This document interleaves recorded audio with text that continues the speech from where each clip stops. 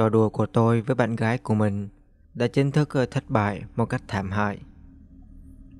Tôi hứa rằng bạn sẽ không bao giờ biết được cảm giác thật sự của mình đâu.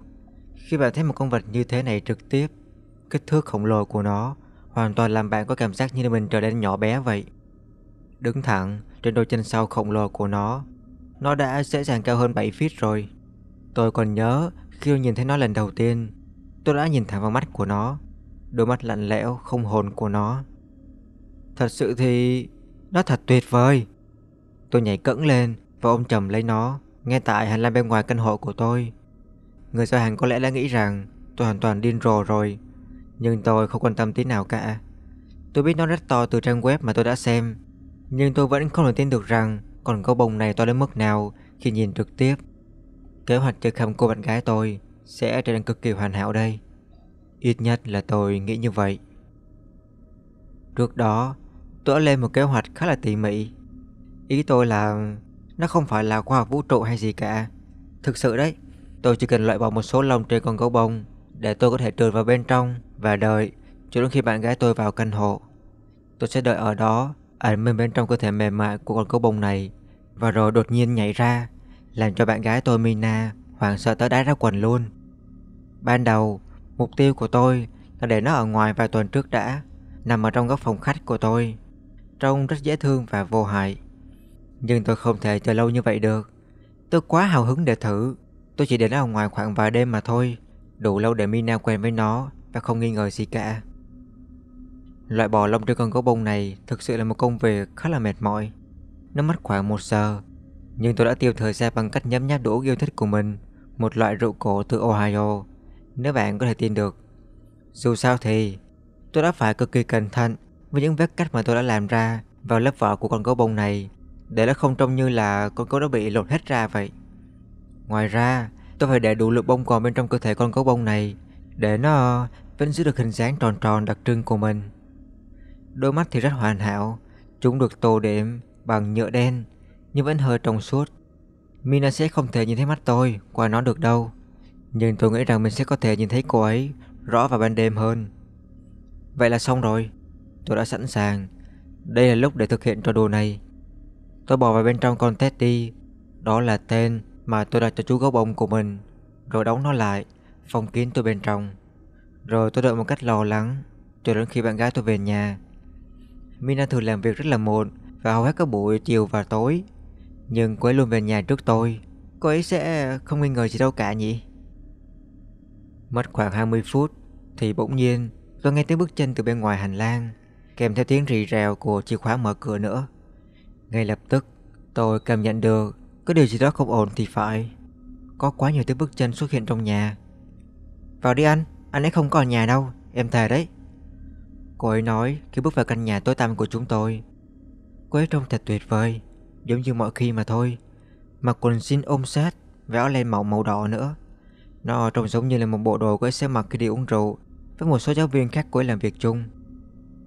Thực ra, tôi đã nghĩ rằng cô ấy sẽ đi uống rượu với một số đồng nghiệp vào buổi tối hôm đó. Thay vào đó, theo sát sau cô ấy là một người đàn ông. Anh ta trông cực kỳ nghiêm túc. Giống như là một người từng theo phong cách go rồi sau đó nhập ngũ vào hải quân vậy. Tóc đen ngắn gọn và hình dáng cao lớn của anh ta nữa khiến anh ta trông giống như là một thợ săn nào đó vậy. Da của anh ta rất trắng và từng phải mạnh mẽ với mái tóc tơ hồng của anh ta. Anh ta có một cái túi nhỏ treo lên từ vai, còn rất nhiều điều khác lạ nữa làm cho tôi cảm thấy không thoải mái. Và có điều gì đó về người đàn ông lạ lẫm này làm tôi hơi lo sợ. Em có thể chuẩn bị cho anh một chút nước uống nào không? Mina hỏi người đàn ông lạ kia khi anh ta cẩn trọng đóng cửa chính sau lưng họ lại. Ai, không còn nghi ngờ gì nữa. Mina dường như đang tán tỉnh anh ta vậy. Cô ấy nhẹ nhàng nắm cánh tay anh ta và sau đó cười và nói Em nghĩ là em có một ít rượu trong tủ lạnh ấy. Chết tiệt, làm sao cô ấy có thể làm điều này với tôi chứ? Tôi đã cực kỳ kiềm chế để có thể không nhảy ra khỏi con gấu và la to vào mặt lũ này. Thực ra, tôi không hiểu tại sao mình lại không làm như vậy nữa. Có lẽ tôi tự ý thức về việc đối mặt với họ trong tình huống quá ngớ ngẩn này.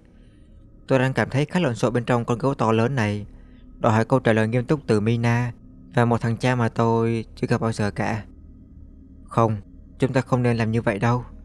Em là cô gái tuyệt vời nhất. Nhưng không phải vào lúc này Tình yêu của anh à. Anh ta nói với giọng Pháp lạ lùng Khi Mina đi vào trong nhà bếp. Cô ấy rõ ràng là đã uống khoảng 1 hay 2 ly trước đó. Tôi có thể thấy gã lạ lùng này nhìn xung quanh phòng khách Một cách nghi ngờ. Chết tiệt Cái gã này trông cực kỳ nghiêm túc. Đến mức tôi chưa từng thấy trước đây bao giờ cả. Giống như là những bức ảnh của sĩ quan quân đội. Từ những cuộc chiến tranh trong quá khứ ấy. Có một phần cuối của hình xăm nào đó Chỉ rõ từ phần áo sơ mi của anh ta. Này, Anh biết chuyện này sẽ khiến em lo lắng một chút, Nhưng đó là điều đúng đắn và phải làm. Anh ta nói với cô ấy Khi tự mình đi dạo xung quanh. Nhưng mà anh sẽ làm một cách nhanh chóng mà, Phải không? Em cảm thấy rất không thoải mái Nếu anh ấy phải chịu tổn thương đau đớn quá nhiều. Cô ấy nói từ bên trong nhà bếp. Tôi không biết làm sao nữa. Để diễn đạt được cảm giác sợ hãi mà tôi đã cảm nhận được trong khoảnh khắc này. Bị mắc kẹt bên trong con gấu bông to lớn, Trong khi một gã trông rất nguy hiểm lang thang trong nhà của tôi. Mỗi cử động của gã này đều trở nên chết người cả. Anh ta liếc nhìn tôi một cách ngắn gọn, Hoặc ít nhất là liếc nhìn con gấu Teddy. Đi Và khuôn mặt của anh ta nữa, Biểu lộ một chút sự khinh bỉ, Nhưng anh ta không nói gì cả. Cuối cùng, anh ta ngồi xuống ghế sofa một cách cứng nhắc Và đợi Mina. Dù sao thì nước của anh đây. AB à Anh muốn em làm gì bây giờ? Em có nên gọi cho anh ta không? Thông thường thì anh ta không về nhà sớm cho lắm, Nhưng mà em nghĩ mình có thể gọi thử xem Liệu ta có thể về nhà sớm hơn hay không. Cô ấy vừa nói, Vừa vuốt nhẹ sau lưng của người lạ này từ phía sau. Ôi không, chết tiệt thật chứ. Chiếc điện thoại của tôi, Nó đang ở trong túi của tôi. Tôi chắc chắn rằng mình đã tắt âm thanh rồi Trước khi vào nhà ấy. Nhưng tôi không chắc chắn 100% nếu cô ấy gọi và điện thoại tôi reo lên Thậm chí là ở chế độ rung Nó sẽ báo cho gã nguy hiểm này biết rằng tôi đang ở đây. Anh ta trông như là một con rắn đuôi dài Đang ngồi trên ghế sofa vậy. Mọi tiếng động nhỏ cứ như là sẽ làm anh ta phát điên lên ấy. Được rồi, cảm ơn Mina nhé. Đúng vậy, gọi đi.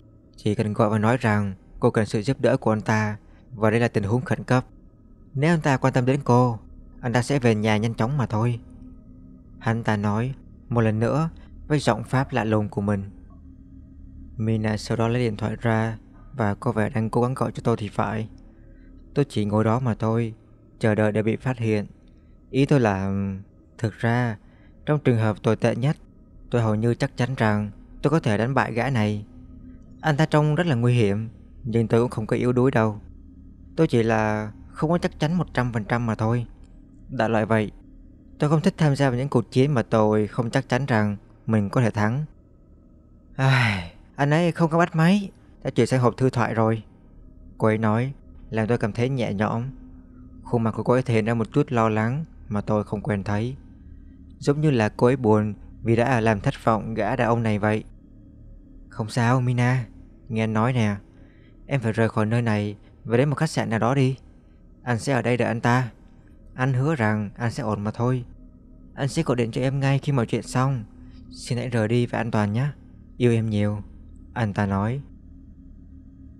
Mina hôn người đàn ông này Và sau đó, lấy túi của cô ấy Trước khi rời khỏi nhà tôi, Để lại tôi và người lạ này ở một mình Trong căn hộ yên tĩnh của tôi.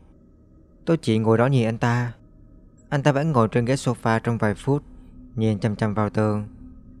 Có điều gì đó đang lạo đạo trong đầu anh ta thì phải, Nhưng tôi không thể tưởng tượng được. Tôi không thể tưởng tượng được đêm nay Sẽ trở nên kỳ quặc hơn So với những gì đang diễn ra cho đến giờ. Sau một lúc ngắn, Khi cả chúng tôi hoàn toàn im lặng, Người lạ đứng lên một cách trang nghiêm, Đứng bên cạnh Mina, Anh ta trông khá cao lớn rồi. Nhưng khi ở một mình, Anh ta dường như là cao lớn hơn một chút nữa thì phải. Anh ta ném cặp lên ghế sofa, Tạo ra một âm thanh kinh hoàng, Giống như những vật kim loại mỏng đập vào nhau ấy. Anh ta vươn hai tay ra sau và rên rỉ. Sau đó, Anh ta tiếp tục hành động kỳ quặc của mình Bằng cách cởi áo khoác ra Và mở nút áo sơ mi nữa Cuối cùng Anh ta ném áo sơ mi lên ghế sofa Và đứng đó khi đang cười trần Tôi cảm thấy khá là vui vẻ Vì tôi đã không nhảy ra Khi họ bước vào nhà Cái gã này giờ đây thực sự làm tôi sợ đến nỗi không thể tả được đấy Trên hầu hết khắp cơ thể của anh ta đều có những hình xăm lạ lùng và những vết sẹo sâu thẳm. Tôi không thể nhận ra hầu hết những hình xăm đó, nhưng có vẻ như đó là những hàng chữ thánh thì phải. Chúng xuất hiện khắp nơi trên ngực, bụng và cánh tay của anh ta nữa. Người lạ sau đó bắt đầu hít thở sâu với đôi mắt đóng kín lại. Anh ta tháo chiếc dây lưng, một chiếc dây da kỳ lạ nào đó. Anh ta nắm chặt nó trong tay phải và môi của anh ta di chuyển giống như là đang nói một loại lời nào đó trống không vậy. Anh ta làm như vậy khoảng 5 phút, trong khi tôi nhìn anh ta với nỗi kinh hoàng. Đột nhiên, mà không có cảnh báo nào cả, anh ta hét lên. Domina! Tôi không nghĩ rằng tôi giật mình, nhưng tôi không thể hứa là không. Domina, oh Domina, Fortitudium Minhida. Anh ta nói bằng ngôn ngữ xấu xí nào đó. Sau đó, anh ta lấy một chiếc xe da trong tay phải ra và đập mạnh vào lưng của mình, tạo ra một âm thanh đầy kinh hoàng. Anh ta lặp đi lặp lại lời tụng của mình liên tục khi tự đập cơ thể của mình chính giữa căn hộ của tôi, trong khi một con gấu bông khổng lồ ngớ ngẩn đang nhìn chằm chằm vào anh ta. Uh, give me the card. Anh ta cuối cùng hét lớn lên một chút vào lần này, dường như là nước mắt đang chảy ra trên khuôn mặt của anh ta vậy. Ồ, tôi biết, tôi phải rời khỏi nơi này ngay bây giờ. Nhưng mà tôi sẽ làm điều đó như thế nào đây? Tôi không thể nghĩ ra cách nào để chạy ra khỏi đây cả, mà không gây sự chú ý đến anh ta. Cái gã này là ai vậy? Mina tìm thấy anh ta ở đâu? Hay là chính anh ta đã tìm thấy Mina vậy? Sau đó, người lại vươn tay vào cặp và đó là lúc mà tôi nhìn thấy lưng của anh ta đầy những vết thương đầy kinh hoàng. Nó hoàn toàn phủ đầy những vết thương cũ và mới nữa. Dấu vết tự trừng phạt mà có lẽ chỉ có ý nghĩa với mình hắn ta mà thôi. Rồi anh ta với tay vào túi và rút ra một cái bó sao và bu lông nữa. Tôi quyết định ngay lúc đó rằng tôi không còn lựa chọn nào khác nữa cả. Tôi phải thoát ra khỏi con gấu này và tấn công anh ta trước khi anh ta có thể tấn công tôi. Cái gã này rõ ràng là đang có ý định giết tôi. Lợi thế duy nhất mà tôi có là sự bất ngờ. Nếu tôi có thể kiềm chế thần kinh đủ lâu, tôi chắc chắn rằng ít nhất mình cũng có cơ hội để đấu tranh. Tôi đã chuẩn bị sẵn sàng cho bản thân rồi, đếm ngược trong đầu một cách im lặng trước khi nhảy lên. Tôi nghĩ rằng tôi không có thời gian để cởi đầu gấu hoặc thoát khỏi bộ đồ này, vậy nên tôi sẽ tấn công anh ta trong tình trạng này. Bỗng lúc đó, điện thoại của anh ta reo lên. Anh ta nhấc máy, đó là Mina. Cô ấy có vẻ khá hoảng sợ và nói rằng cô ấy không muốn anh ta chết. Giọng cô ấy vang lên từ loa ngoài của người lạ. Người lại cố làm dịu Mina, nhưng cô ấy có vẻ đang hoảng sợ thì phải. Thôi được rồi, ở lại nơi em đang chờ đi, anh sẽ đến đó ngay. Mọi chuyện sẽ ổn thôi, tình yêu của anh à. Anh sẽ ổn thôi, chúng ta sẽ ổn mà thôi. Anh ta nói, sau đó anh ta mặc quần áo lại với tốc độ rất nhanh và đặt những vật dụng đầy túi rồi chạy ra khỏi căn hộ của tôi. Sự vắng bóng đột ngột của anh ta tạo ra một cảm giác im lặng kỳ quá trong căn hộ. Tôi chưa bao giờ cảm thấy rằng nó trống rỗng như vậy cả.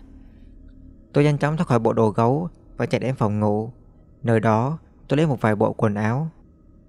Tôi chắc chắn rằng trông mình như một kẻ dở hơi vậy, nhưng không cần phải nhìn vào gương đâu. Vì lý do rõ ràng rằng tôi ghét trông mình như một kẻ hèn nhát, bỏ trốn khỏi chính ngôi nhà của mình. Tôi biết rằng tôi sẽ không bao giờ gặp lại Mina nữa. À, tôi rất là thích Mina. Thấy cô ấy với cả đàn ông này thực sự rất kinh khủng. Cô ấy đã quen biết kẻ này từ khi nào vậy? Liệu mối quan hệ của chúng tôi có phải là một lời nói dối hay không? Tôi rời đi một mình trong đêm. Có những thành phố khác và có những Mina khác mà. Vì vậy, tôi chắc chắn rằng mọi việc sẽ ổn mà thôi. Chỉ là... Trời ơi, thật tệ biết bao nhiêu. Kiểu giống như là bạn đang nghĩ bạn hiểu rõ một người nào đó ấy. Nhưng không, bạn chả biết gì cả. Giống như là họ đang che giấu bản chất thật của họ khỏi bạn. Và nếu không phải với con gấu bông ngốc nghếch đó, tôi có lẽ đã chết rồi.